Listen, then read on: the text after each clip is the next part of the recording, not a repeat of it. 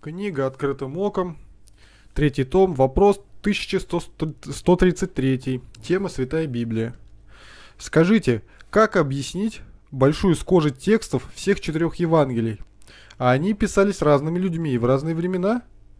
И если не сохранилось ни одной фотографии Иисуса Христа, то как объяснить сходство большинства его изображений на иконах? Отвечает Игнатий Тихонович Лапкин. Относительно четырех Евангелий, принятых в церковный канон, ответ дается в Новом Завете. 2 Петра 1.21. «Ибо никогда пророчество не было произносимо по воле человеческой, но изрекали его святые Божьи человеки, будучи движимы Духом Святым». То есть авторство принадлежит одному лицу, Духу Святому. Ученики Христа многое забывали, даже при его жизни. Писание об этом говорит так. Тогда вспомнили они. Плохо, когда человек что-то забывает, но хорошо, когда забывает ненужное. Сиюминутной важности, иначе наш компьютер давно бы сгорел от перегрузки. Сам Господь нас учит о многом забывать, как, например, о прегрешениях ближних против нас. Да и сам Он нам обещает, что многое нам не припомнит и забудет, если мы будем искренне любить Его.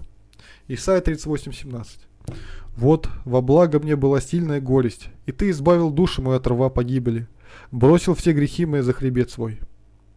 Христос обещал послать Духа Святого, который очистит память апостолов, и они напишут без искажения свои Евангелия и послания. Иоанна 16 глава 8 стих. И он, придя, обличит мир о грехе и о правде и о суде. Относительно изображения Иисуса Христа нет ни слова во всей Святой Библии. Есть предания о нерукотворном образе Христа, есть древнейшие иконы, а позже были составлены каноны иконописи. Христа узнают по еврейской одежде и по длинным волосам. Но если собрать все иконы, то следователи, криминалисты, почти каждый из них отнесли бы к новому лесу, настолько они пишутся небрежно, а иногда и преступно небрежно.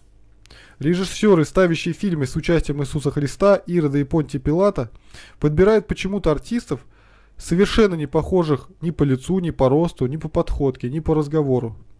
Лично мне кажется, что самые удачные игровые образы были взяты в фильме Иуда Бенгур и в фильме Иисус.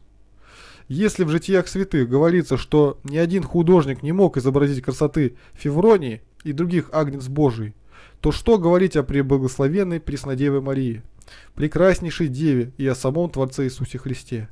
Вся их красота была внутри их, в их обаянии любви, милосердия, кротости – если бы сегодня спросили, можно ли взвесить добро и зло, какое претерпел мир от изображения Христа, то сразу бы стало видно, что если бы изображения его вообще не было на земле никогда, верующие ничего бы от этого не потеряли, но избегли бы очень многих жертв ненужных.